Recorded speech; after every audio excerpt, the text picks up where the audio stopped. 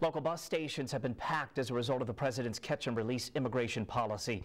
Action 4's Valeria Aponte joins us live in the studio to find out what bus stations are doing to accommodate these immigrants.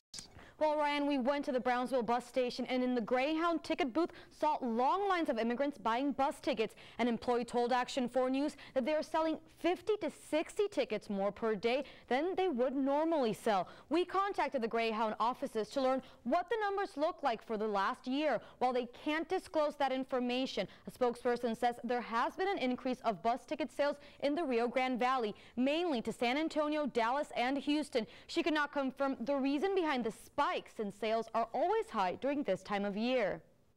We are working diligently to transport these individuals safely to their destinations without interrupting our usual operations. Um, so far, we have seen no interruption of our regular operations. Uh, however, we will supply additional resources if needed. Additional resources like providing more buses and drivers to specific stations.